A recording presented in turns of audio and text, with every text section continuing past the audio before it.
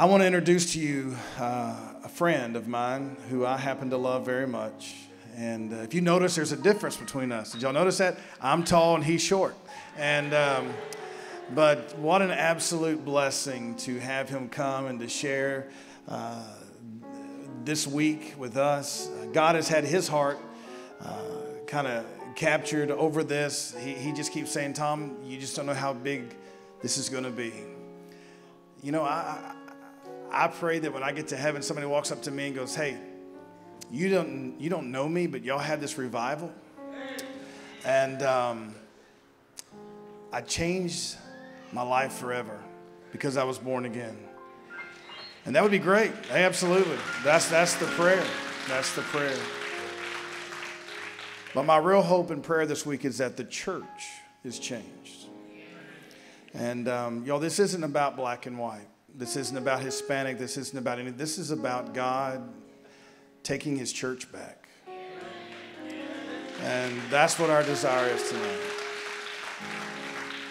Let me pray as Brother Mike Satterfield comes. And after I pray, I'm going to hand him this mic. And all I want you to do is I want you to sit back and prepare your heart and say, God, I'm here because I need to be here. So, Father, tonight we come because we need to be here. People talk about a fresh word. We don't need a fresh word. We need to go back to the old word. God, we need to go back to the word of God. Back the churches have got to go back to where it all started. So God, forgive us when we think that we're greater than the word of God because we're not.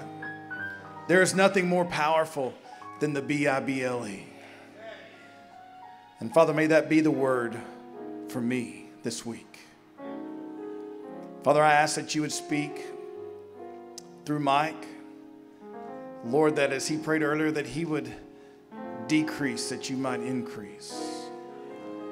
And tomorrow night, in anticipation of who else is going to be here, we begin to pray, God, that we will be one body when we leave this place. Yes, there are some differences among us, but one thing we know Without the blood of Jesus Christ, there is no hope for any of us. Uh, not by the grace of Jesus Christ. Calvary was my place to die. But you took your son and put him in my place. So, Father, tonight we thank you for that and we prepare now to hear your word. Be with this man of God. Speak through him and may our hearts be open and our ears be open to your truth. We pray this in Jesus' precious name. Amen. Brother Mike Satterfield.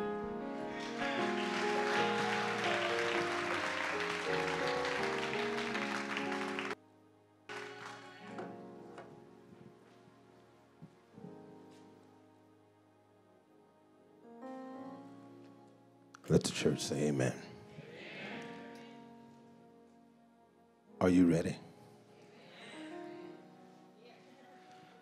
Softly and tenderly. Jesus is calling, calling for you and for me. See on the portal, he's waiting and watching, watching for you and for me. Come home, come home, ye who are weary,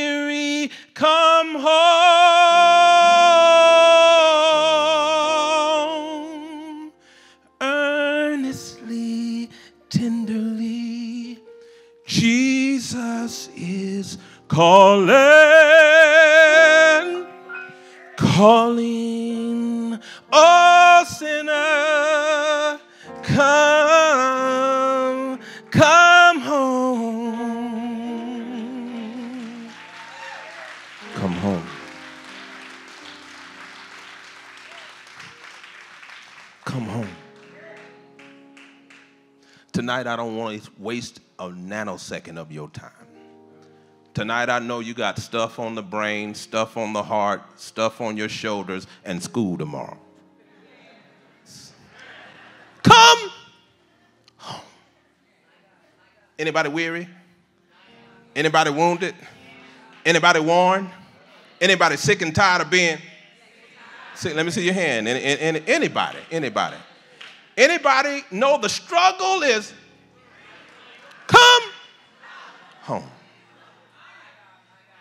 Tonight, I want to talk about three questions, three people, and three acronyms. Three questions, three people, and three acronyms. You know what an acronym is, don't you? Pastor Tom told me you're the most educated people on the planet, so I don't have to break anything down. But an acronym is a word that you take the letters and make other words out. Uh, three questions, three people, and three acronyms. Question number one You ever been lost? Oh, some of y'all go back because you've been so sanctified and spiritual. You don't remember what it was like. Anybody ever been lost in the middle of a you got the parking lot speech? We going in the store. Don't you touch nothing. Don't you look at nothing. And don't you ask for nothing. In, parking lot speak. And then you get in the store, and I, I that they start touching stuff, looking at stuff, and asking for stuff. But then you get separated from the pack.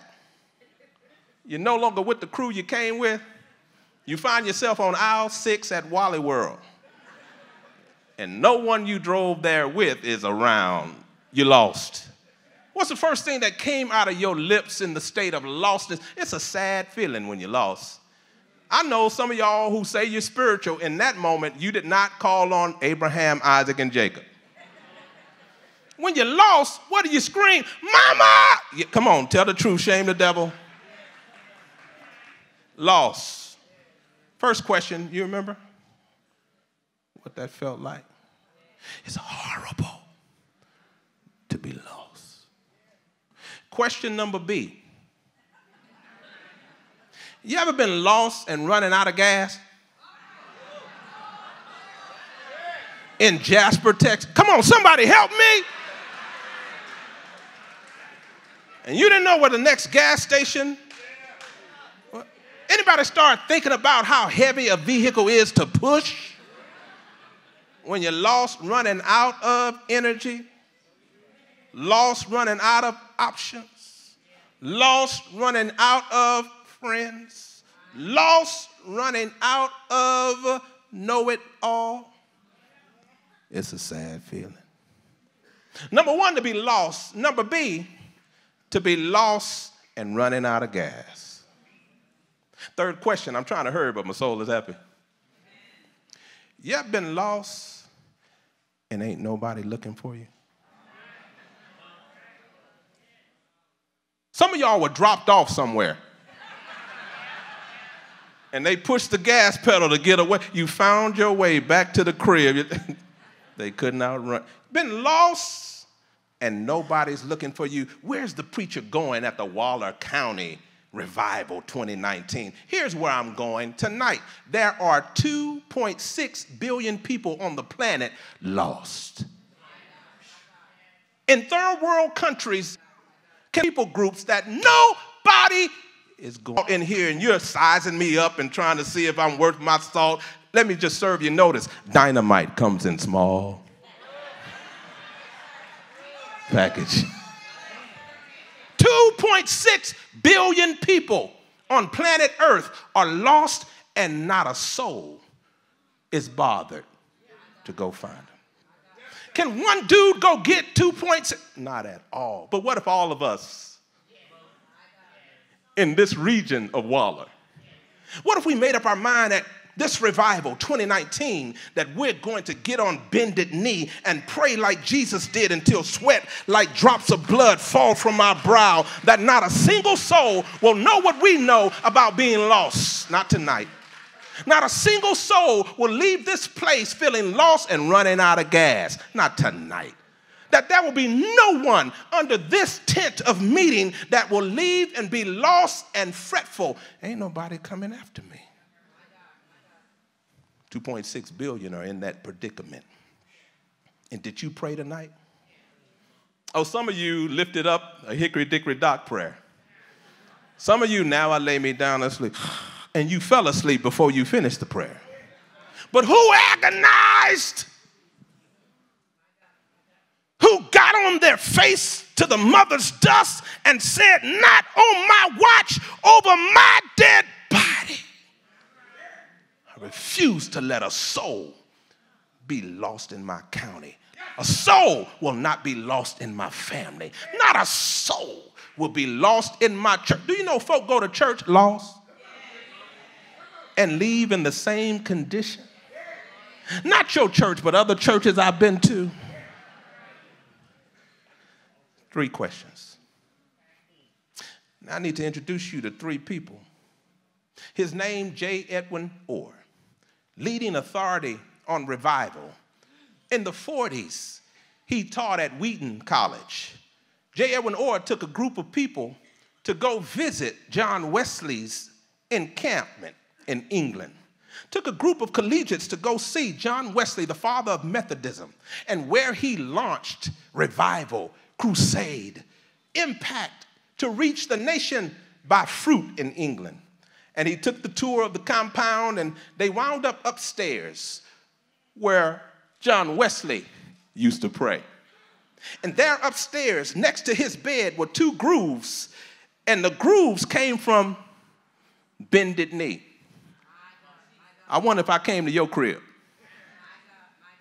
Is there a place that is so worn because you've been down on bended knee, looking up to the hills from which comes your help and strength, and crying out to the only begotten to do something supercalifragilisticexpialidocious, exceedingly, abundantly, immeasurably more than any of this activity could ask, think, or two grooves worn next to the bed where John Wesley didn't pray for me, myself, and it wasn't a selfish mandate. He prayed that all of England would be revitalized, that all of England would be revolutionized, that all of England would be revived, so that no one in his country would be lost.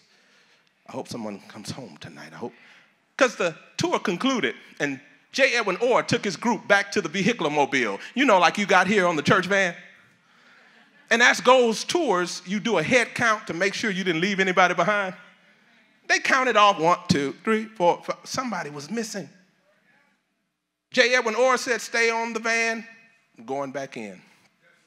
He went back into John Wesley's place and looked all around, couldn't find the missing student. He canvassed that place where the Methodist Church got its launch, couldn't find the student. Something in and said, Go upstairs to the upper room where Wesley lay his head. And J. Edwin Orr went in the room, and there, kneeling in the two grooves, was the missing student. And he approached and was about to call the student's name until he heard the prayer of the student. You know what he was asking? Do it again, God. Do it again, country and my land. Our Father, forgive us, for we know not what we do. J. Edwin Orr touched the student on the shoulder and said, It's time to go.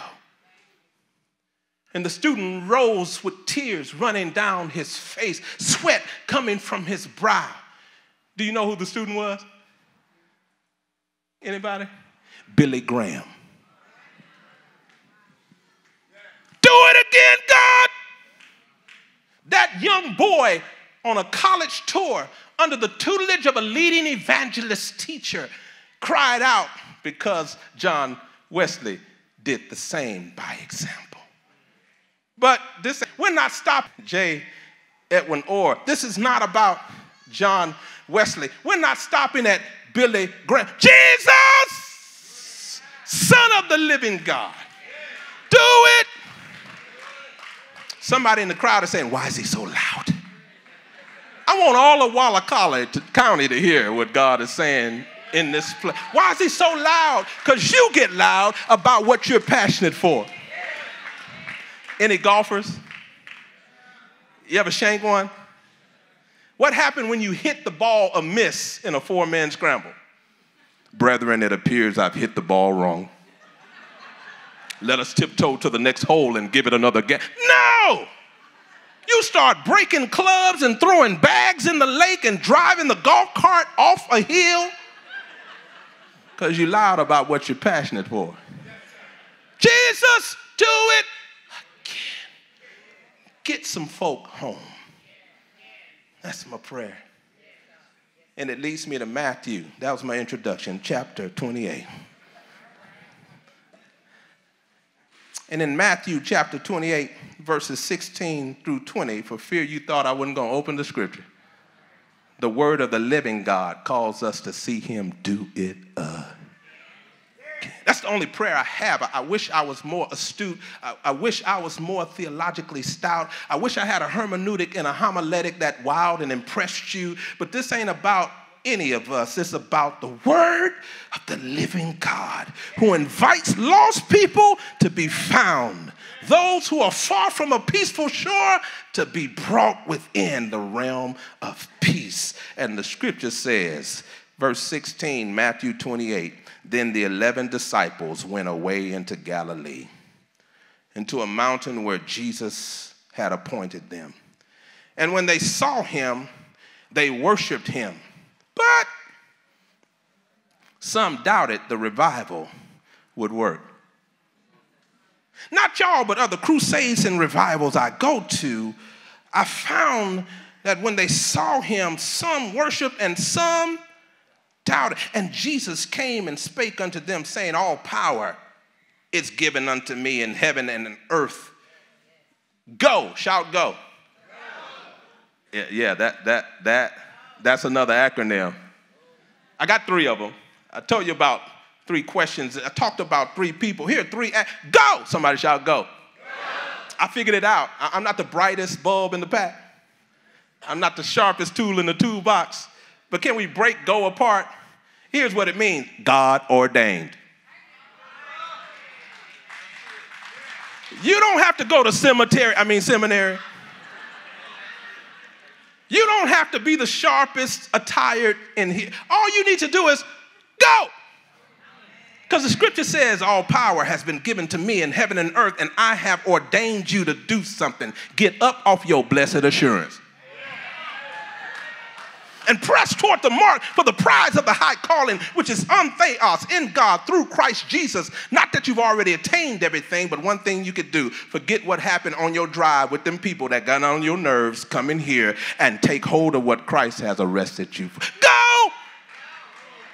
The lost 2.6 billion deep are waiting on you. Touch your neighbor and say, You're plan A. Come on, they didn't catch it. Touch him. You're plan A. This is class participation. Now touch him again and say, There is no plan B. You're it. And if you don't go, who's going? And if not now, then when? And if not this gospel, what are we going to tell the world? Hickory dickory dock? The mouse ran up the clock. The clock struck 12, and the, what are we going to tell them? With our hoopology and with our intellectualism. Well, brother, it appears that I have studied to show myself approved, and I have entertained all the celestial truths of my bent and uh, my philosophy and my the. Uh, hush! And go! The devil knows the books of the Bible. And you hadn't impressed anybody until you lived the verse. And Matthew 28 is clear, it's explicit, it is simplistic. It calls on us to do something. Don't be a hearer of the word only. Somebody shout, Go! Because God ordained. And God approves of this message.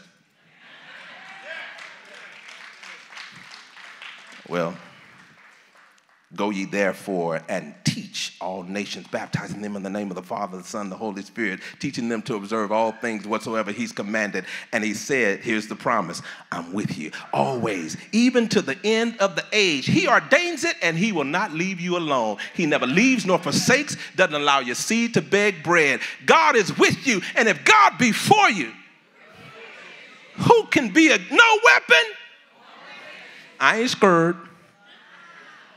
I gotta go, I gotta go, I gotta go. I got God ordained that I be on co-mission with him. I'm not alone. Anybody ready to go? I understand us figure it out home because oftentimes there's something in your way, and I brought a tool to help us figure it out. It's another acronym. It's DIMTY. Anybody? You're educated as DIMTY, D-I-M-T-Y. This, this is what we do when we go. The scripture tells us, but I think we need some extra help. DIMTY, what does it mean? What does it mean? It's an acronym. Do I matter to you? Everybody's asking the question. They asked when you stopped at the stop sign and looked into their vehicle, all up in their business. They look back, do I matter to you? They're asking tonight in your family unit, why don't you tell me you love me anymore?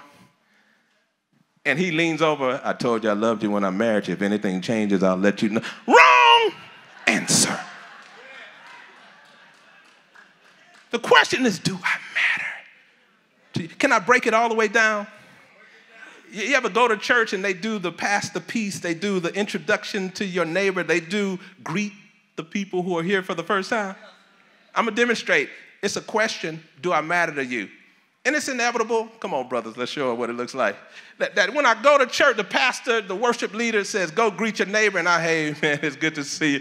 Thank you for. What's up, my man? What up, dog? How you doing, man? I've been waiting all week to see you, bro. How mama them? What's going on with you? Boy, we've been separated since birth. It's good to see you again. What did I just say to this one? You don't. I was being cordial. They said, say hello, and I said, but my boy from the womb to the tomb. this is my clique. Y'all don't have cliques at your church, but this is my. It's us four, no more. This, this is the. Do I matter to you? Look at me. You don't get this size on celery sticks and rice cake. We eat pancakes with butter and syrup. Pray for the preacher. It was my son's birthday. He's at Texas State University. I went to San Marcos, took him to IHOP. And there at IHOP, Joe, the waitress, came to the table and she said, Can I help you? I said, What is your name? She said, Joe. I said, Joe, how can we pray for you? You know how many Christians go to IHOP? You, you know how many failed to ask Joe what her need was? And she walked around wondering, do I should? I was there. But I was gonna break the cycle. I was in IHOP, not for the Rudy Fruity Fresh. I was there for Joe. I said, Joe, how, how, can we pray for you? She was blown away, had never been asked a question. She looked at both of us and she declared, Pray I bring you your food. I just, what? What? Who, who are you? I said, Beyond that, Joe, we didn't really come for the food. We came to be a blessing to you. She sat down and said, Just the other night, two days ago, my sister tried to commit suicide. I'm here at the job hanging like a loose tooth. And we answered the question Not only do you matter to me, you matter to God. Joe, can we pray for you? She sat down to be prayed over. I never had so much sweet tea poured in a cup in my entire life. I had to leave IHOP and go to Walmart and get grown up Depends. Bladder, touch your neighbor and say, What is what? They'll tell you later. Joe was just blown away by the blessing, and we didn't leave a witness track. We gave her money, money, money, money. Y'all not ready, y'all? We blessed her. Then I went to the church called Calvary where I was preaching that revival week, and I asked the church, go to IHOP. Don't order a thing. Ask for Joe. And bless her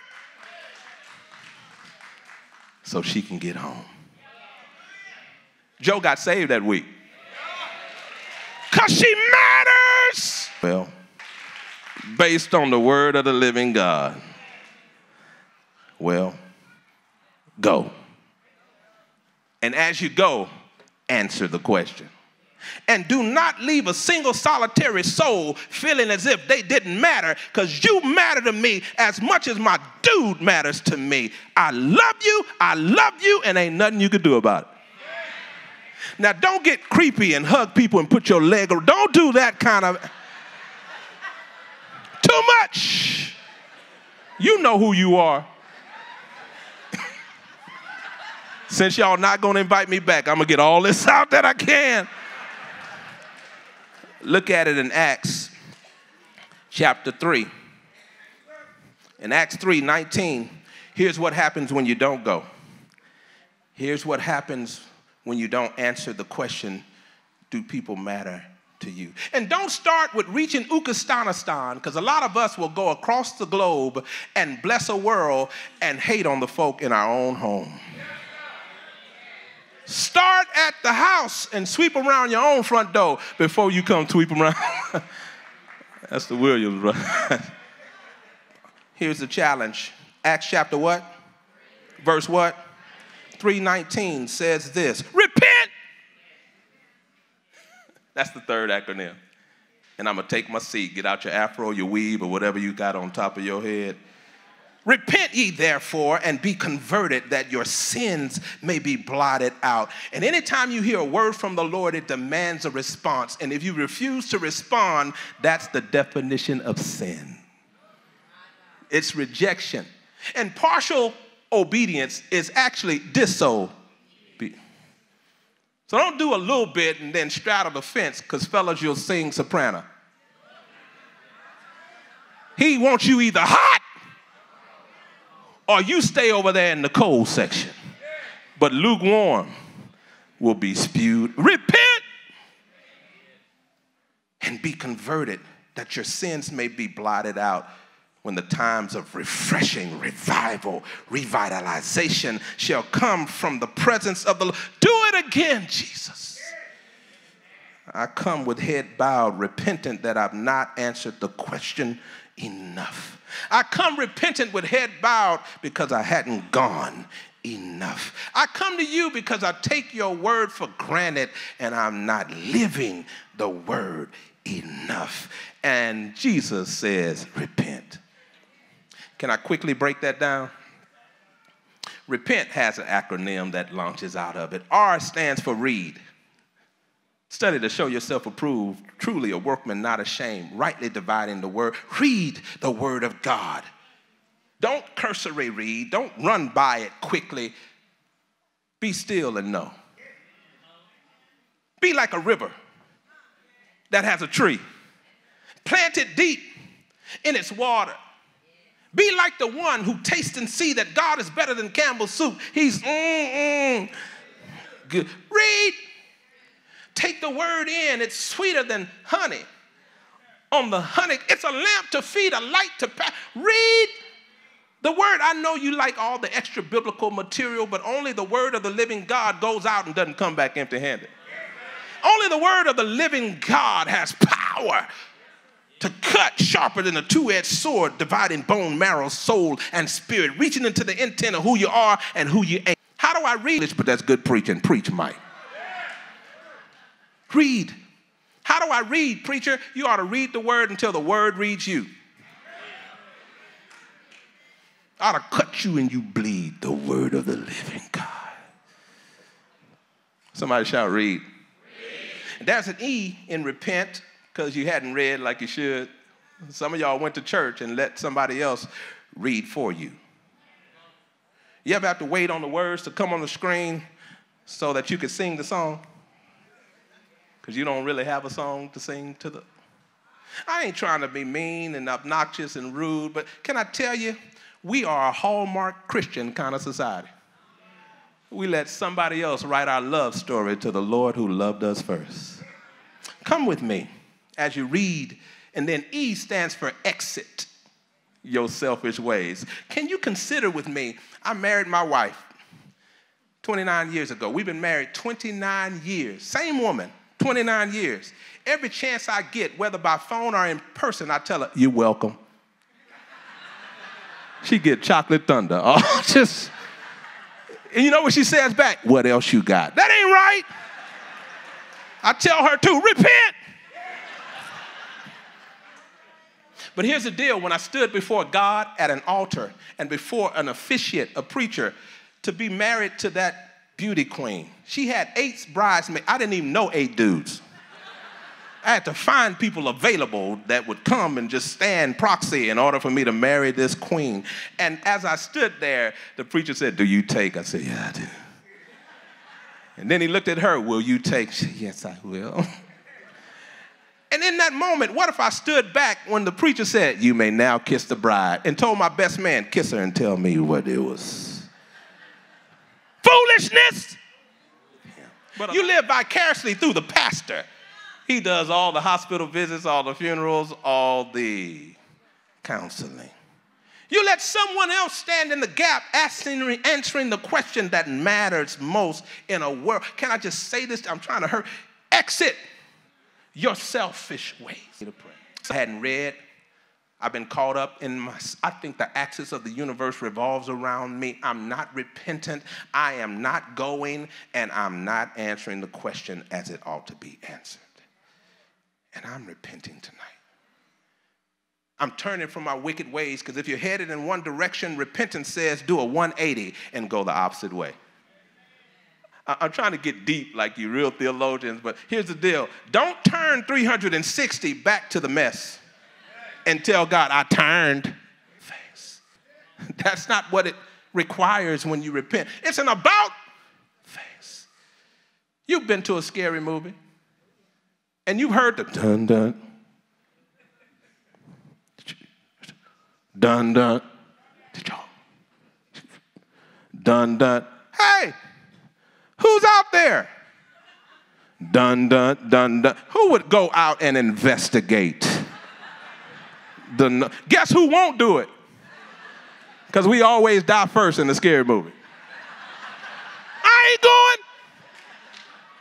And you don't go by yourself. You dun, dun, dun. Hey guys, I hear a noise. Let's all go and see what. No. The challenge in the word is that you exit self because heading into darkness and hearing the noise that invites you is doom. Repent and turn your life around. You don't have to head to darkness when there's deliverance. You don't have to head to HE double hockey sticks, almost said hell, when there is healing in the opposite direction. You don't have to enter into failure when there is faith size of a mustard. Touch your neighbor and say, repent. You need to exit. And Galatians 2.20 helps me with Matthew 28. I've been crucified with Christ. I don't even live anymore. The life I live now, I live by faith in the Son of God who loved me and gave himself for me. The P stands for pray. The effectual, fervent prayer of the righteous is going to avail much. It's going to accomplish much. Tonight, if you hadn't prayed, start now because somebody on your row needs to come and be found. You're not looking for Jesus, he ain't lost. It's you in Waller County. And you may be going to church, but going to church doesn't make you any more saved than sitting in a garage makes you a Cadillac. Repent. Ask God's forgiveness for doing things your way instead of way.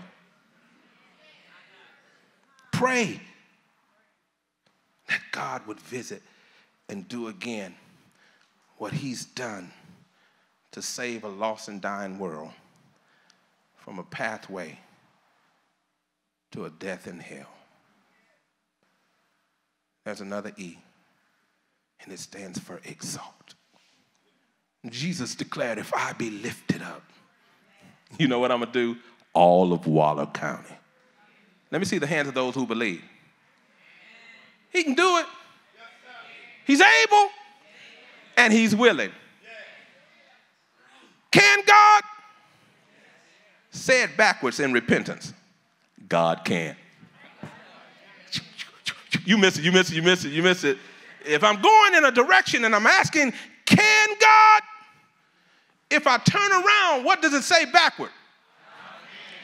Yes, he can.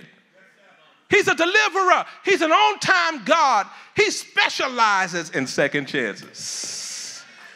And tonight, if you've been off base, tonight, if you've been far from peace, tonight, if you've been wayward and wounded in such a way you are retaliating and trying to get people back, God says, Come to me, all who are weary and heavy laden, and I'm going to give you something in exchange for that heavy heart. I'm going to give you rest.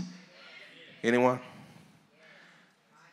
That's what the invitation is going to look like. Read, exit, pray and exalt the name of Jesus. Because there's an end that says, notice. On your row, did somebody come hurting? Did somebody come with more month left in money? Is somebody here expectant, like the evangelist on the front row, my dear sister, who says, I came not to look at you, Denzel look alike. I came she didn't say that. She, I threw that in. You supposed to say amen, though. Help her. Somebody said, a broke Denzel. That ain't right. Notice there are needs all around you. And I'm not trying to be loud just to be loud. I want urgency to define what we're about this week. You ought to fill every chair. We ought to cut through this roof or people down, not to see a man, but to meet with the Messiah. It's worthy of the highest praise. The last letter, as you start to notice, there are needs on my row I've overlooked. And I'm the most needy person in this revival. Do it again, God. Show us your glory like never before. The T stands for trust. You lean not to your own understanding. In all your ways, acknowledge him, and he starts to direct your path. I can sum it up in this way. There was, in the midst of a young man's life, a challenge. His name, Fred Craddock. Fred Craddock said he was ugly. Bandy Distinguished Professor Emeritus at Candler University, Hotlanta. Fred Craddock said he was scrawny, he was ugly, he was not prolific in athletics. Anybody know of Fred Craddock? Don't look out, blink if on your row. No, no one would count them in because they were not even chosen in gym class to balance the team. Fred said that was me, but I played a mean game of hide and seek. Fred said my sister and I played on our farm a game of hide. Y'all know the game? Somebody's on base, they're it. Everybody else, when they count to 10, goes and hides. Fred Craddock said, I'm the champ of hide and seek. And so he and his sister were playing. She was it. So she went to the base and she began to count 1,001. Fred started to go to his best spot. He was so scrawny, he could fit up under the porch. He laughed. She'll never find me here. She's counting a thousand two, three, a thousand four. He's giggling, not loud, but under his. She'll never, she'll never find me. Fred is up under a thousand seven, thousand ten. She cheated. Ready or not? Here I come. Fred didn't care. She'll never find me here and his sister left the base and passed by the porch to the front door. No Fred. She left the front door, went to the pasture. No Fred. From the pasture to the barn. No Fred. From the barn to the treehouse. No Fred. He's giggling. She'll never find me here. Ten minutes later, Fred realized she'll never find me here. Lost. So he stuck his toe out wherever you are. Porch and said, I see you. Come out, come out. Wherever you are. Come here, Waller County. Because Fred got from under the porch and dusted himself off. He said, You got me. Now I'm it. But can I say something prolific? Can I say something profound?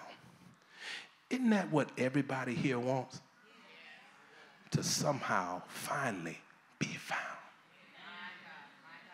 Come out, come out, wherever you are. You'll never be found under the porch of dismay. You'll never be found under the porch of loneliness.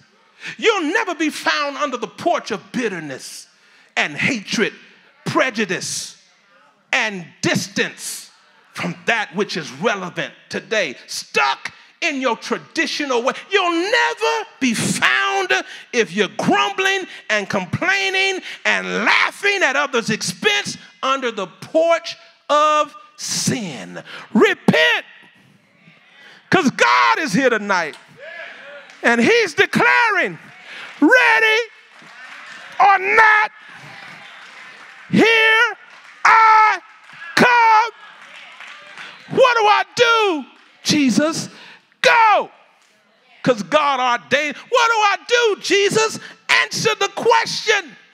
Everybody's asking, Do I matter? Do I matter? Do you ought to rehearse it right now. You matter to me. You matter to me. You matter to me. You ma- get from under the porch. Dust yourself off. Come with me. I'll escort you to the altar. Repent